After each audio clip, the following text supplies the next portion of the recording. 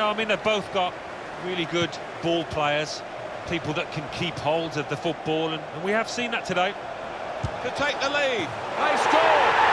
That's the moment that he would have dreamt about, I think, last night in his sleep, if he slept at all, before his debut for his new club.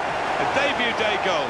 Yeah, not just a goal, a really well taken one, so couldn't have asked for any more. The goal from Suarez, and well, that's evaded the keeper's grasp. A really good finish from him.